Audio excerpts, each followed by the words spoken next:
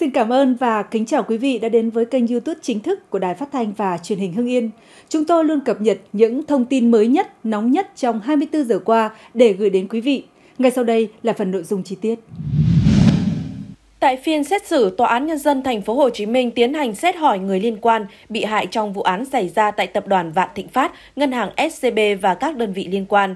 Chủ tọa yêu cầu bà Bùi Thị Vân Anh, vợ bị cáo Nguyễn Cao Trí lên bục khai báo rồi cho hay đã nhận đơn của bà về việc khắc phục hậu quả thay chồng, nhưng đến nay bà chưa nộp tiền.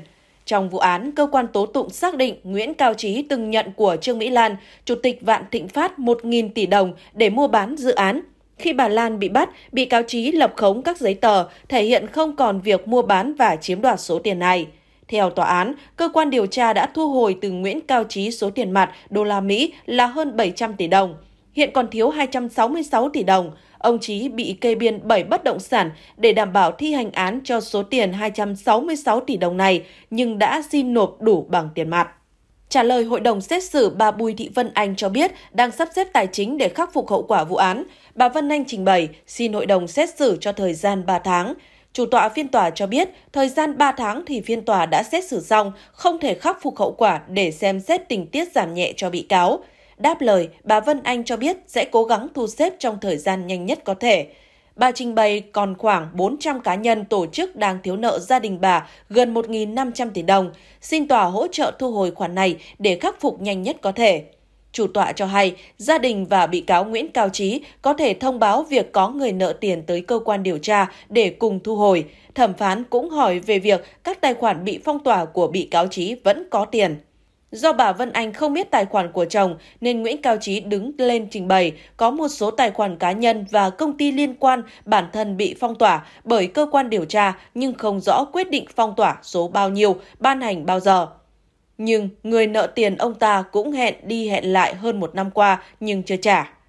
Luật sư Trần Minh Hải phát biểu đã làm đơn gửi hội đồng xét xử đề nghị cho Nguyễn Cao Trí tiếp xúc với vợ để tìm kiếm thu xếp tài chính khắc phục toàn bộ khoản còn lại trong vụ án. Chủ tọa cho hay họ không được gặp tại tòa, các luật sư cần tìm hiểu tài khoản của Nguyễn Cao Trí bị phong tỏa theo quyết định nào để giải quyết, nếu không các bất động sản bị kê biên có thể dùng để khắc phục hậu quả bà Bùi Thị Vân Anh liền trình bày cam kết khắc phục tiền mặt 266 tỷ còn thiếu ngay trong thời gian xét xử. Một lần nữa, chủ tọa phiên tòa lưu ý gia đình bị cáo trí phải khắc phục hậu quả trước khi hội đồng xét xử đưa ra phán quyết cuối cùng. Trong phiên xét xử vụ án Vạn Thịnh Phát, hội đồng xét xử bắt đầu hỏi bị hại, người có quyền lợi và nghĩa vụ liên quan trong vụ án Trương Mỹ Lan và đồng phạm.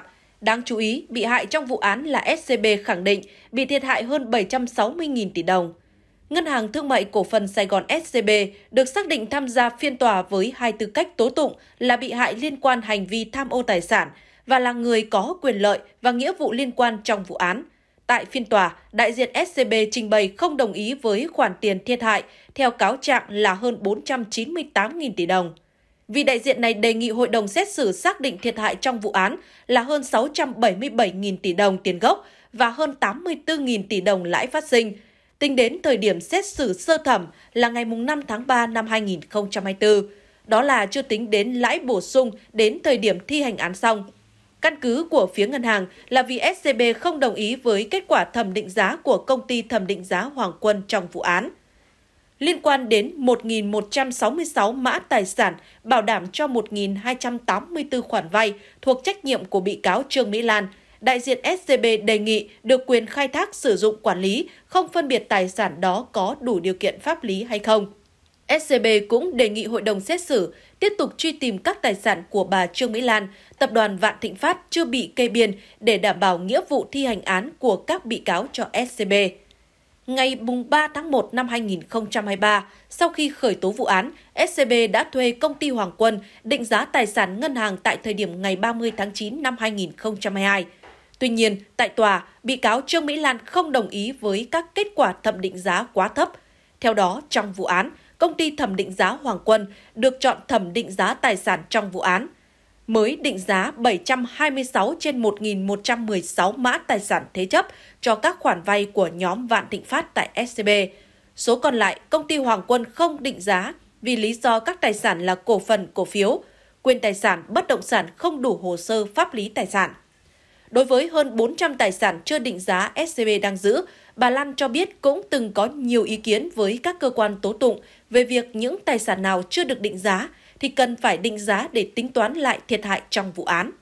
Tại phiên tòa, bị cáo Trương Mỹ Lan không đồng ý với kết quả thẩm định của công ty Hoàng Quân.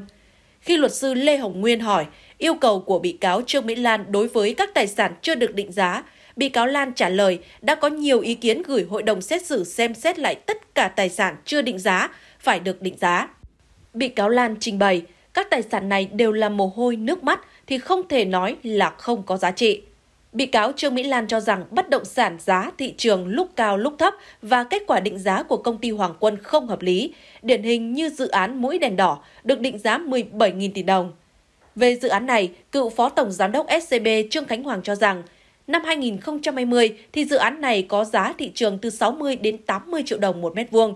Còn cựu Phó Tổng Giám đốc SCB Trần Thị Mỹ Dung trình bày dự án mũi đèn đỏ có diện tích khoảng 117 hecta đã thực hiện đền bù hơn 90%. Lúc đền bù là đền bù theo giá thị trường. Theo bị cáo Dung, với diện tích đó nhân với giá thị trường thì có giá trị khoảng 70.000 tỷ đồng. Đó là giá trị thực tế, chưa tính các thủ tục pháp lý. Bị cáo Dung khai, khi SCB duyệt cho vay 117.000 tỷ đồng là không chỉ dựa vào giá trị đã đền bù, mà còn dựa vào đánh giá khả năng phát triển của dự án. Ngoài ra, bị cáo Trần Thị Mỹ Dung trình bày thêm, trong 1.166 mã tài sản của bị cáo Trương Mỹ Lan tại SCB, công ty thẩm định giá Hoàng Quân không định giá 440 mã tài sản vì lý do các tài sản là cổ phần, cổ phiếu, quyền tài sản, bất động sản không đủ hồ sơ pháp lý tài sản là không phù hợp. Theo bị cáo Dung, cổ phần, cổ phiếu đều là tài sản có giá trị được ghi nhận trên sổ sách của SCB. Vì vậy, bị cáo Trần Thị Mỹ Dung mong hội đồng xét xử xem xét yêu cầu các cơ quan tố tụng cung cấp danh sách các tài sản không được công ty thẩm định giá Hoàng Quân định giá trong vụ án. Từ đó bị cáo sẽ có trình bày quan điểm. Trong phiên xét xử sơ thẩm vụ án Vạn Thịnh Phát, trả lời tại phiên tòa, bị cáo Trương Mỹ Lan trình bày mong muốn con gái bà là Chu Duyệt Phấn sẽ giúp thu hồi nợ từ những người đang thiếu tiền bà. Xong, bị cáo cũng bày tỏ lo ngại con gái đang điều trị bệnh ở nước ngoài, sức khỏe không được tốt nên nhờ sự hỗ trợ của cơ quan tố tụng. Trả lời tại phiên tòa ngày 12 tháng 3, bị cáo Trương Mỹ Lan nói rằng vì uy tín, vì danh dự của gia tộc, bà sẵn sàng dùng tiền tích cóp để giải quyết hậu quả ở SCB. Bà Lan cũng nói ủy quyền cho ngân hàng nhà nước xử lý số cổ phần của mình ở SCB để khắc phục hậu quả. Tuy nhiên, bà Lan cũng đề nghị các tài sản của bị cáo phải được định giá đúng giá thị trường. Bị cáo Lan cho biết đã ủy quyền cho con gái là Chu Duyệt Phấn đi giải quyết những công việc khi bị cáo đang bị tạm giam. Theo bị cáo Lan, con gái bà đã đàm phán để bán tòa nhà ở Hà Nội khắc phục hậu quả, nhưng đối tác đang trả giá 300 triệu đô la Mỹ, trong khi tòa nhà này được định giá 1 tỷ đô la Mỹ. Trước thông tin này, giới bất động sản, nhà đầu tư và cả cộng đồng mạng xôn xao các thông tin, truy tìm và xác định xem tòa nhà 1 tỷ đô la Mỹ thuộc Vạn Thịnh Phát như lời bà Lan nói là tòa nhà nào.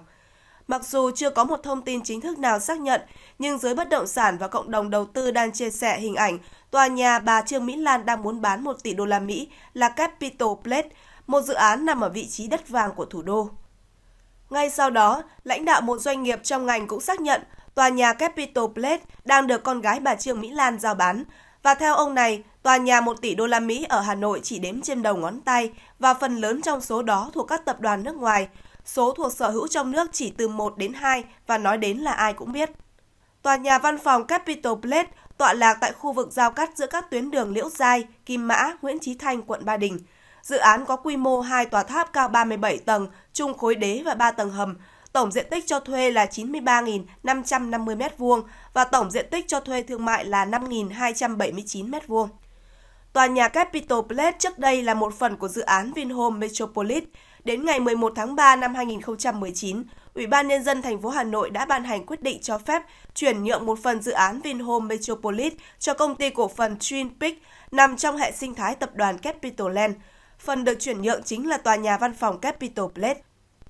Đầu năm 2022, Capital Land thông báo thoái vốn khỏi tòa nhà Capital Place và chuyển nhượng tòa nhà văn phòng này cho một bên thứ ba với giá trị 751 triệu đô la Singapore, tương đương 550 triệu đô la Mỹ, khoảng 12.500 tỷ đồng. Chủ mới tòa nhà văn phòng tọa lạc tại trung tâm quận Ba Đình, Hà Nội, được giới thiệu là công ty cổ phần đầu tư và phát triển Vivaland. Đáng chú ý, Vivaland từng được giới bất động sản nhắc đến là doanh nghiệp có mối liên hệ với Vạn Thịnh Phát. Trên website chính thức của tập đoàn Vạn Thịnh Phát trước đó cũng xuất hiện thông tin Vivaland là đối tác.